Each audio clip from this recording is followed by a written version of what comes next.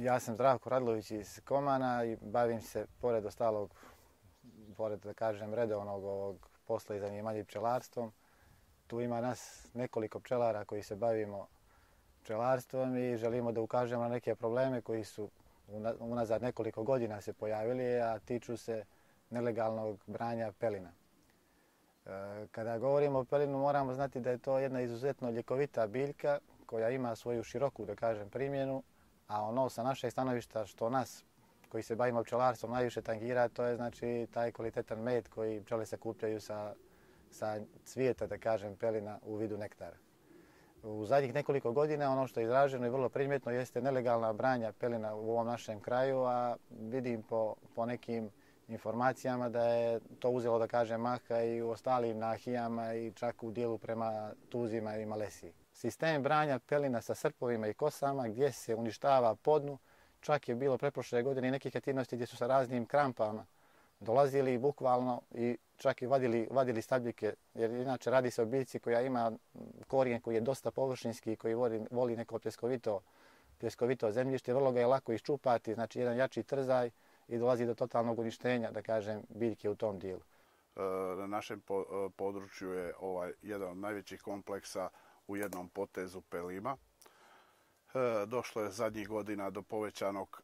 obima branja tog pelima. Uništava se ovaj na način što ga beru ljudi sa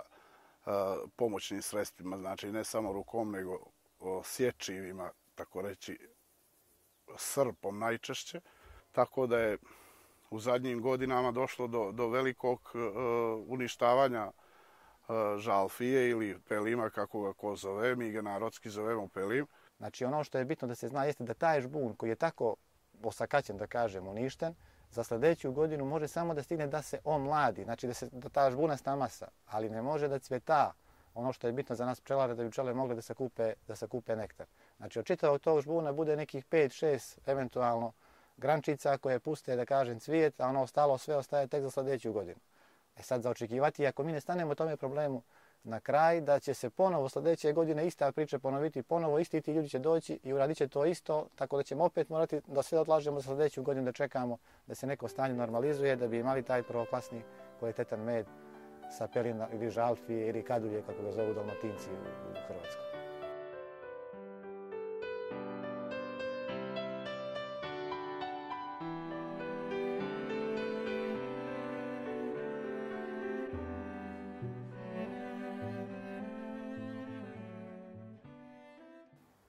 Veoma mi je drago da smo došli do faze u razvoju poljoprivrede u Crnoj Gori kada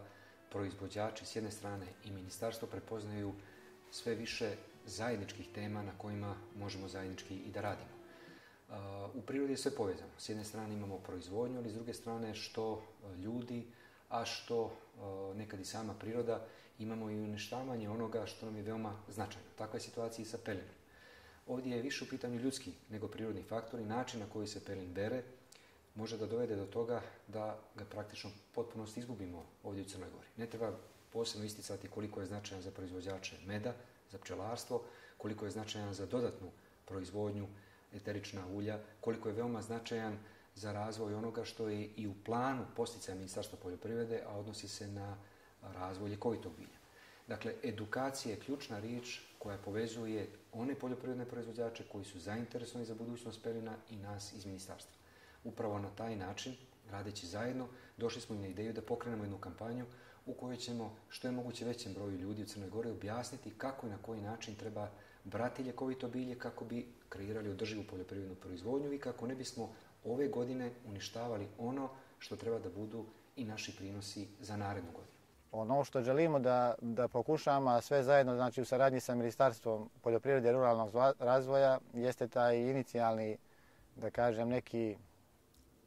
predlog, odnosno potez sa strane ministra koji smo mi prihvatili da pokušamo zajedničkim snagama da ukažemo na to nelegalno branje pelina i na značaj pelina kao biljke, ne samo za Crnu Goru, to inače se radi o biljci koja je rasprostanjena u ovom kamenitom dijelu našem u Crnoj Gori, Hercegovini i dijelu Dalmacije.